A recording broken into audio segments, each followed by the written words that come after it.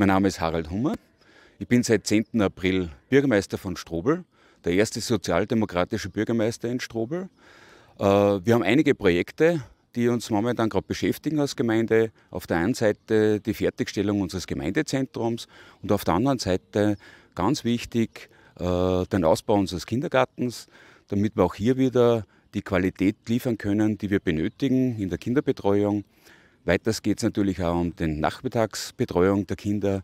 Und wo wir unser Hauptaugenmerk auch darauf legen werden, ist unser, uns sind unsere Baulandsicherungsmodelle.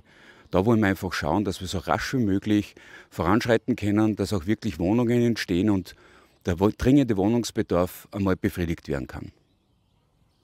Ja, unser Gemeindezentrum beinhaltet vier Projekte. Auf der einen Seite die WC-Anlage an der Promenade, die ja schon bereits fertiggestellt wurde voriges Jahr.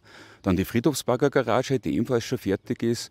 Und gerade in Renovierung ist unser Gemeindeamt, wo wir dann nächstes Jahr wahrscheinlich im Herbst einziehen werden. Und die Aufbauungshalle. Das sind unsere vier Projekte, die momentan in Fertigstellung sind.